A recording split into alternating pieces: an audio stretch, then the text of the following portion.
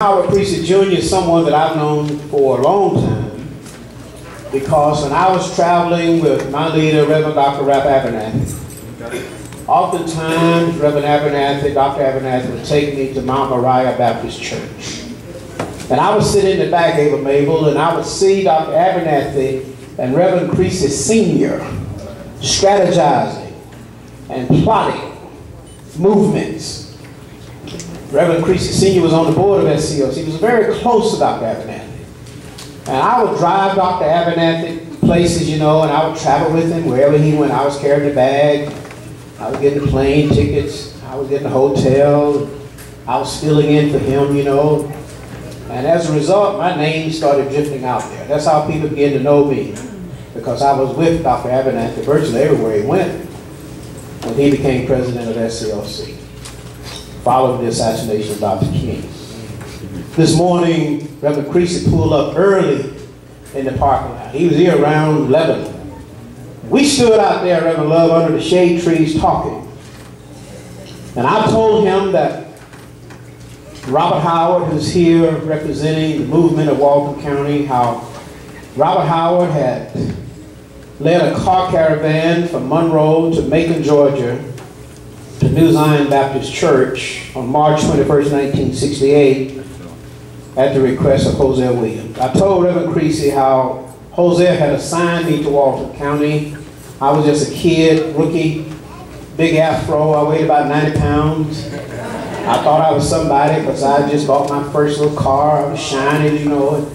I came over here, even maybe I thought I was something. Mr. Dan Young got me straight real quick would introduce me to the Moores Ford Bridge lynching case by way of the photographs and the evidence. I told Reverend Creecy this because I wanted Reverend Creecy to know this before he spoke today.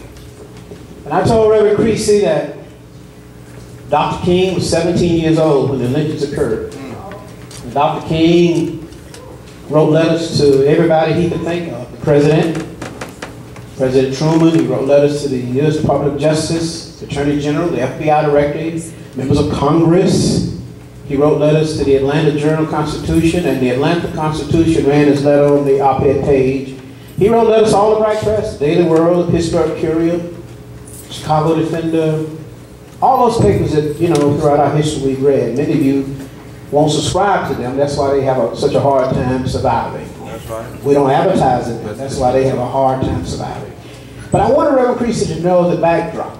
I wanted to give him a briefing on how this happened how SCLC got involved in this movement. It was because of Dr. King. And on March 21st, 1968 in Macon at New Zion Baptist Church, when Hosea called all of us little young rookies over to Macon, we saw Dr. King and Abernathy sitting at New Zion. They were promoting the Poor People's Campaign March on Washington. That's what they were doing. But Hosea called us over, and I went over with Willie Bolden, Robert Howard, and many others. Robert led a caravan, about 100 cars out of here, all the way to Macon. And I saw Mr. Dan Young walk into the church, and immediately Dr. King called him down front and put him between he and Dr. Abernathy. Us rookies, you know, we were sitting in the back. We saw Mr. Young say to Dr. King, Martin, you and Ralph must come to Monroe to deal with this lynching case. And Dr. King was eating some fried chicken and some collard greens, and cornbread, and drinking iced tea, and all of a sudden he just stopped. He stood up and he said, Dan, when Ralph and I finish with the sanitation workers strike at Memphis, we are coming to Monroe deal with that Moores Ford Bridge lynchings. He said, you know, I was 17 when it happened, and it's been on my mind ever since. He said, but Ralph and I are coming. The night that Dr. King was assassinated in Memphis, April 4th, 1968, he was scheduled to fly from Memphis to Monroe on the plane owned by the United Automobile Workers Union. Walter Reuther was president. Some of you UAW members in the room, union members in the room, you know the history of how the labor movement was entwined with the civil rights movement. But Dr. King was taken away from us on April 4th, 68. Robert Howard was working with the Walton County Aviation Team, and they had cleaned off the airstrip out here. Not far from, you'll see it today as we travel around the county on the reenactment. They cleaned it off. They had the lights up. They had the flags up. And I was down the road in Social Circle in the home of Ralph Murder Lively, and I was watching NBC News, and Chet Huntley brought the story out, and he said, anchoring from New York, he said, Dr. King has been shot in Memphis. We have a correspondent in Memphis. We will go there in a few minutes to get a live reporting. When they switched to Memphis, the correspondent was standing in front of the hospital crying. He was crying. You could see the tears streaming down his face. He had his coat off and his tie was loose and the wind was blowing his hair. He could barely say the words. Dr. Martin Luther King Jr. is dead. I was in the home of Raffamer Live down the road and I was stunned. I couldn't believe it. I thought it was a hoax. And the phone rang. It was Claudette Matthews calling from SCLC. Then Terry Randolph, Hosea's secretary, called. You must return to Atlanta. We're going to Memphis tonight. And I remember getting in the car and driving out of Merlin Raft Yard in Social Circle. I remember parking that car at 334 Auburn Avenue, but I don't remember anything in between. There's a blank. I just can't remember anything in between. I was so upset. I was devastated. And when I walked into the headquarters on Auburn, Claudette said, how did you get here so quick? I just spoke to you a few minutes ago. She said, you must have been running over 100 miles an hour. I said, I'm ready to go to Memphis. She said, you're in no shape. Sit down. Wait on Willie Bolden. He's coming from Macon. He and Gwen, Gwen Randall, his first wife, they were driving from Macon on a brand new white Thunderbird. And I told Reverend Creecy, we got in that car. And Willie Bolden wasn't driving fast enough to Memphis. Gwen was on the right passenger side reading a book. Bolden got on the back seat at my request let me drive the car. That was a mistake. Because I started driving that car 100, 120, whatever it would do. Brand new car, heavy car. I drove that car all the way to Memphis. Along the way, we didn't know it, but we met James Earl Ray, who had left Memphis, headed to Atlanta in his white Mustang. He parked that car over at Capitol Homes housing project, which has been torn down now, right down the street from the state capitol. I wanted Reverend Creecy to know this. And I said, when we arrived in Memphis, Memphis was burning, National Guard troops on every corner, rifle bayonet. I couldn't sleep. I stayed up all night. The next morning, Dr. Abernathy called us together, the Reverend Billy Kyle's church. Retha Franklin was singing her song. She was vintage Retha. Y'all know how Retha used to do it. She was doing. She was just singing and singing. Then her father, Reverend C.L. Franklin, flew in. He started preaching.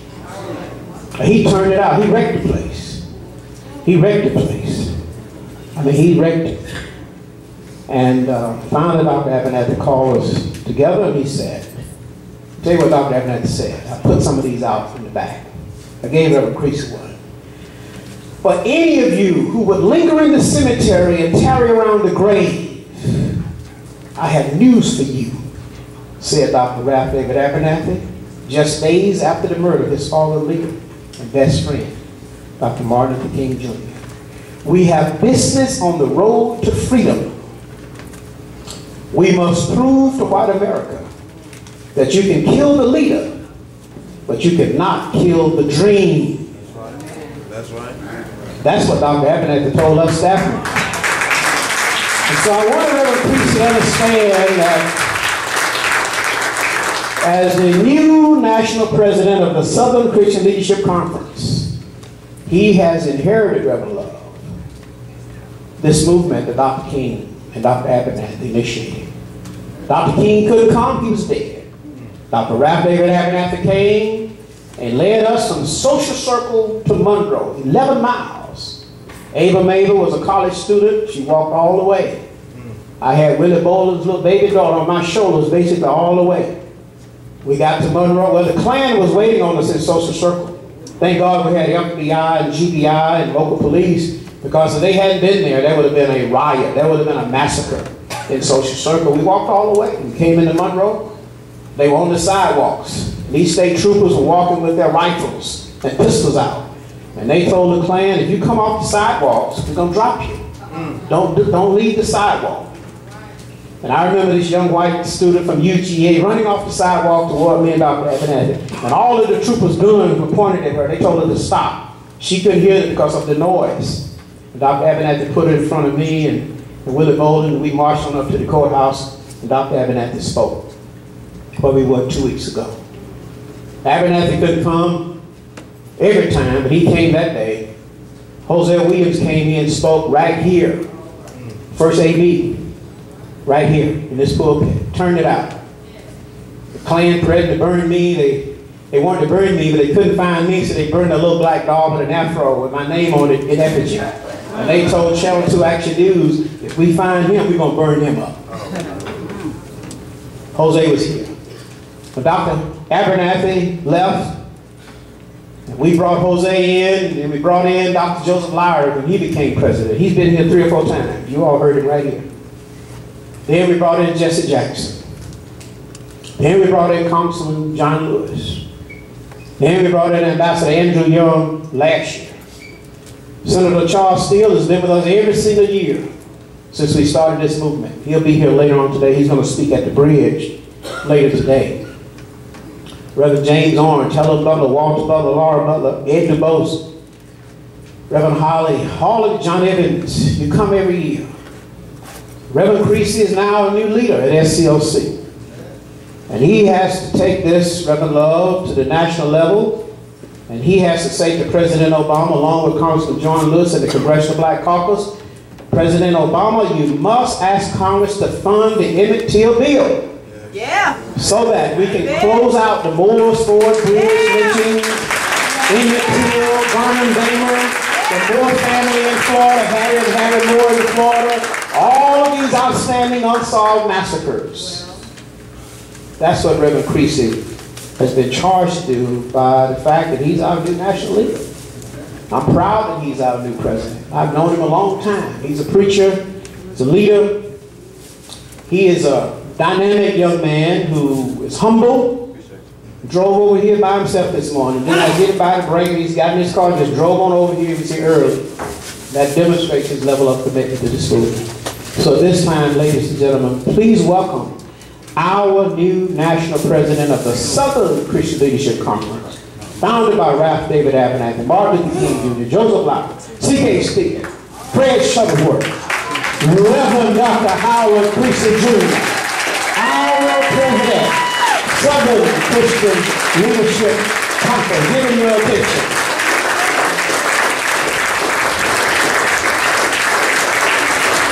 Thank you, my brother.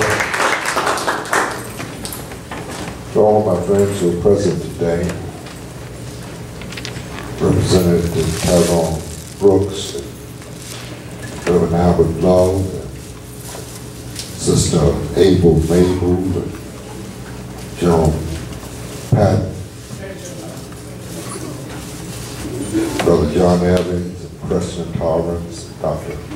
Copel, and all of the clergy and the leadership, uh, Mr. Helen Butler.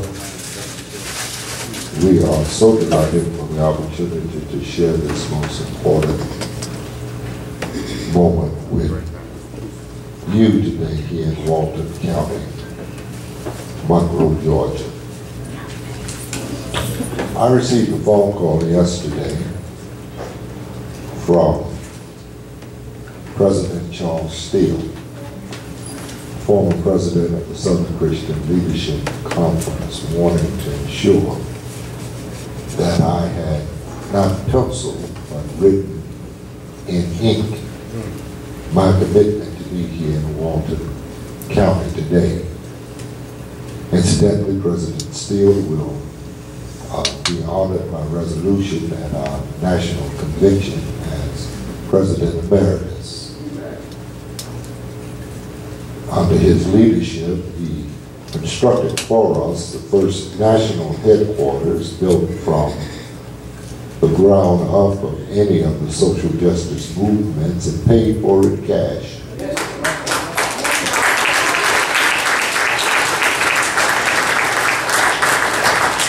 Now, in these hard recessionary times, that, that is a Herculean job. And if I could use big words to describe what Dr. Steele had done for SCLC, I would tell you he had done hippopotamus well and elephant large. It might be a recession on in some parts of the country, but the demographics and statistics suggest that in the community that I live in, it is a depression. And we're grateful for his leadership. But he wanted to insist that that I took serious the pledge that Dr. King and Dr. Abernathy made March 21st, 1968, to come here to Walton County to address the Moore Ford Bridge massacre. It is now another century. And still the people who are in power in this great country in which we live have not put in place what is necessary that justice may be realized. The laws have been put on the books, but there's no funding for the law. It is as if there are forces in this country that wish we would just go back into the corner, into the darkness of the past and forget the pain and the burden that our people have experienced. But the truth of the matter is we've been beaten too profusely. And we've bled, we've bled too long. And we have suffered in the heat of the day. And we don't believe that God has brought us this far to leave us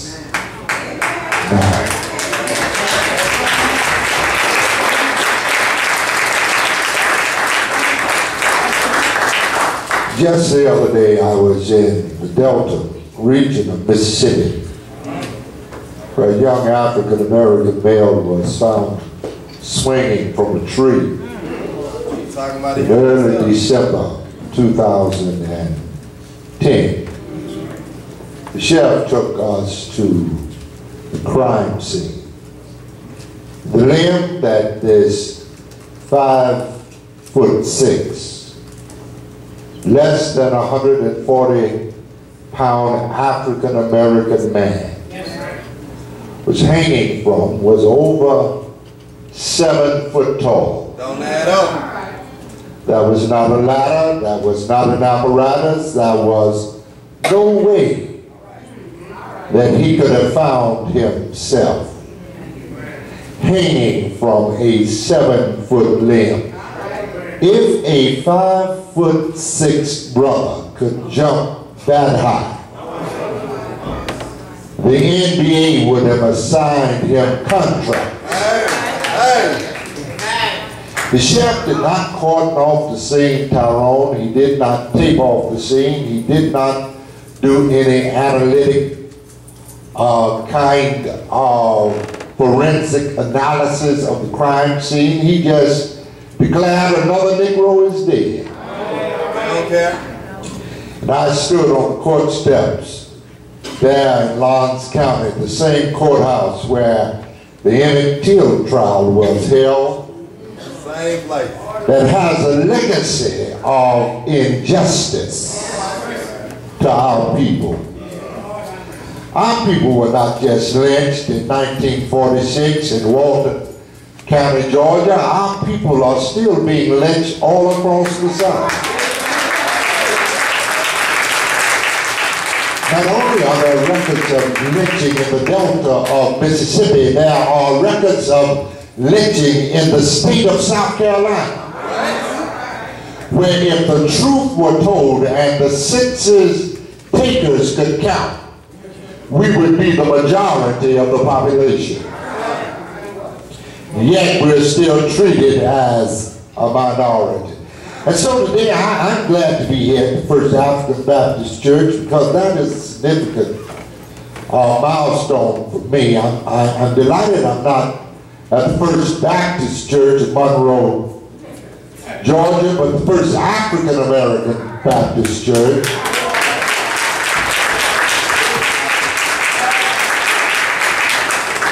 All, it has always been the church. It has always been the people of faith who believe that we serve a God who will liberate us from where we were to where we ought to be. So I'm glad to be back in my roots. Because here in this place, I can declare to whoever is listening, I've come this far by faith. Leaning and depending on God. Here today with our friends from GABEO and the NAACP and the People's Agenda. And I want to I want to share with you, my brothers and sisters, that uh, many of us are sleeping in a dangerous time.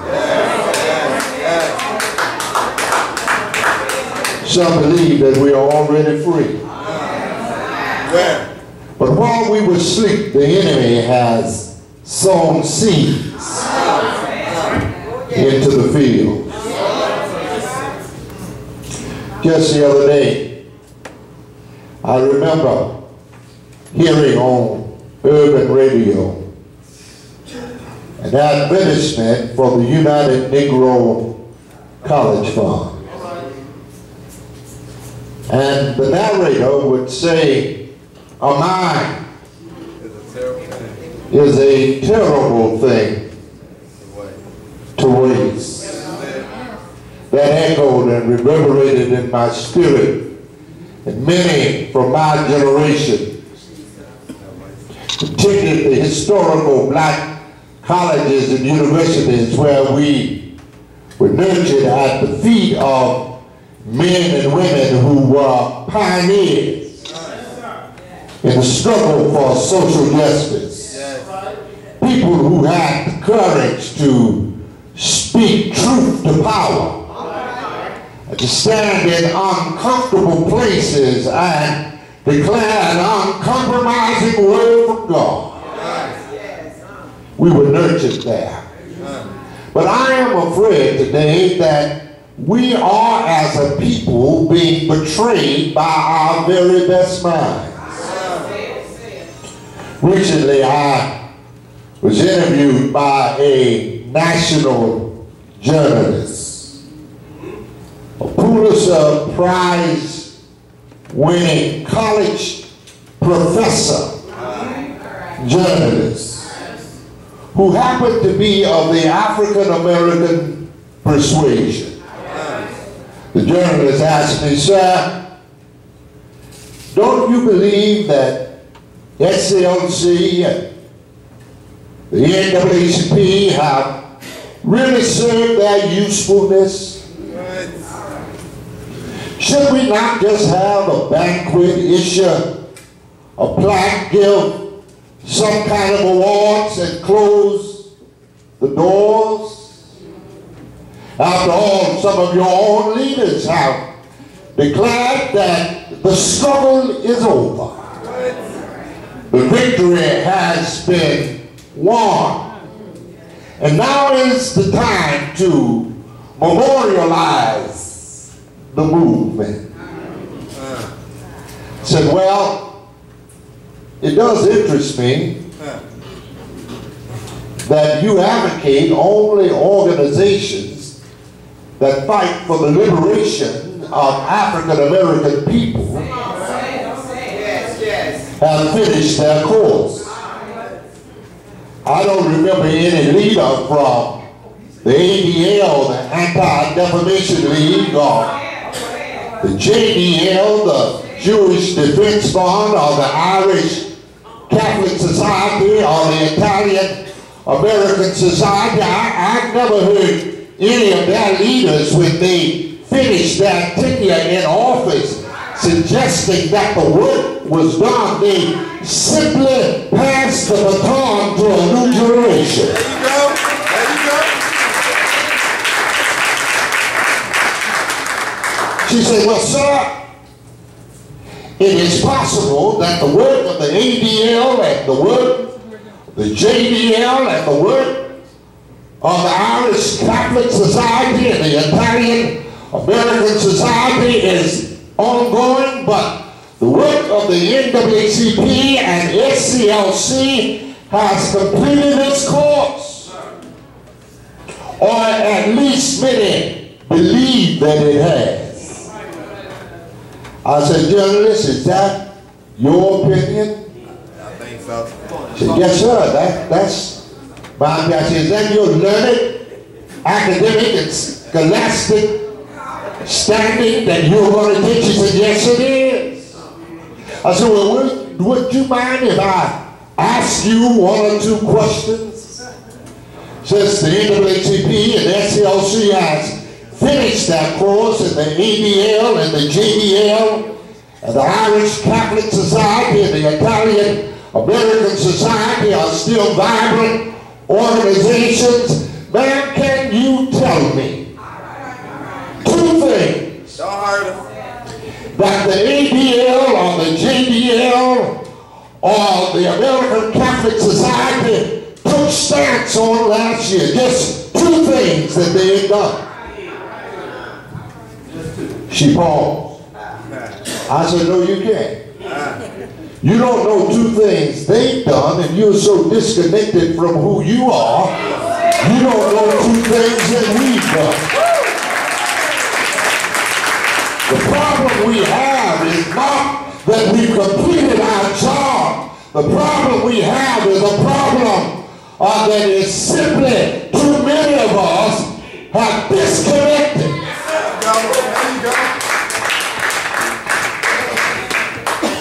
From the train that has brought us safely thus far. Now I know there are some that have suggested to us that uh, marching is over and that the movement has, Dr. Steele, moved from the streets to the suites. But the truth of the matter is, the streets were always wide enough to be inclusive. That's right. That's right. The streets were always narrow enough to be exclusive. Hey. The suites were never meant for everybody. The only people who were ever allowed in the streets were the marginalized, the homogenized, and the paralyzed. They moved us from the street because our strength was in the street. They could not handle us in the street. And so they moved us to the street where we lost our purpose, our power, and all of our people.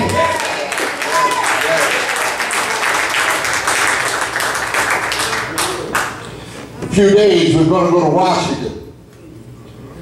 When we get to Washington, we're going to marvel as on the Tidal Basin, they are going to recognize the first hero of peace. Every other statue, every other monument that is on the Tidal Basin recognizes some war hero. But when they unveil that marvelous likeness of our fallen prince, Dr. Martin Luther King Jr., he will be the first ambassador of peace.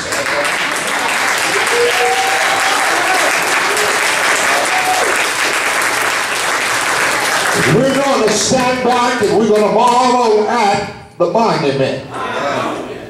But the truth of the matter, my brothers and sisters, I cannot understand why we are so excited about Martin's monument and so forgetful about Martin's movement.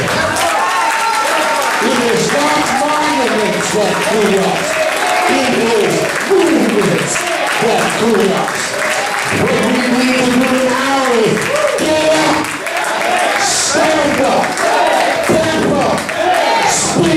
get up,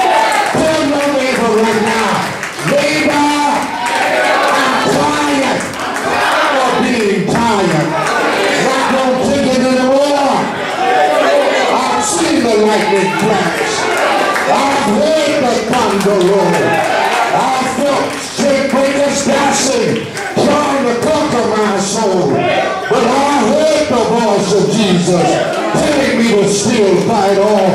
We promise never to leave us. Never to leave us alone. Why don't you stand on your feet and shake somebody's hand and tell them never alone. Never alone. Never alone. Never alone. Why don't you come across the aisle and shake somebody's hand across the other side of the